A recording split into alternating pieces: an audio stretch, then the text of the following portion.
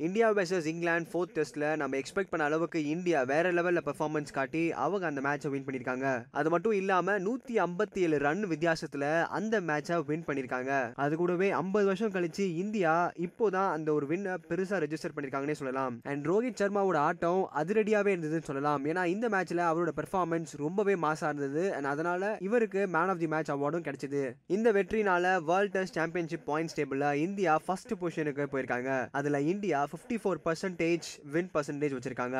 எப்படியோ fourth test India west England நல்லபடியா முடிஞ்சாலுமே ஃபிஃப்த் டெஸ்ட்ல மிகப்பெரிய ஆப்பு இந்தியாக்காக காத்துட்டு இருக்குன்னே சொல்லலாம். டீம் இந்தியாவோட கோச்சஸ் எல்லாருக்குமே இப்ப கோவிட் பாசிட்டிவ் ஆயிருக்கு. ஸோ இதனால இவங்க கண்டிப்பா பத்து நாளைக்கு ஐசோலேஷன்ல இருக்கணும். டீம் இந்தியாவோட batting coach and bowling coach இவங்க எல்லாருக்குமே வந்து கோவிட் பாசிட்டிவ் ஆனனால டீம் இந்தியா ஃபிஃப்த் டெஸ்ட்டை கோச்சஸே இல்லாம ஆட போறாங்க. அண்ட் இந்த பிரஷர் எல்லாமே விராட் கோலி மேல தான் விழ போகுது அண்ட் இந்த ஃபிஃப்த் டெஸ்ட் மேட்சை மக்கள் ரொம்ப எதிர்பார்த்துட்டு இருக்காங்கன்னு சொல்லலாம். ஏன்னா ஒரு அக்ரெசிவ் விண்டேஜ் விராட் கூடிய மறுபடியும் பார்க்கலாம் அப்படின்ற ஒரு எதிர்பார்ப்போட மக்கள் இந்த மேட்சை பார்க்கறதுக்கு ஈகரா இருக்காங்கன்னு சொல்லலாம். அண்ட் இதே மாதிரி உடனுக்குடன் ஸ்போர்ட்ஸ் சம்பந்தப்பட்ட நியூஸை கேட்கணும்னு நினைக்கிறீங்களா? ஐபிசி தமிழ் ஸ்போர்ட்ஸ் சேனலை சப்ஸ்கிரைப் பண்ணுங்க. மறக்காம இந்த விஷயத்தை பத்தி உங்களோட கருத்துக்களை கீழே இருக்க கமெண்ட் செக்ஷன்ல கமெண்ட் பண்ணுங்க.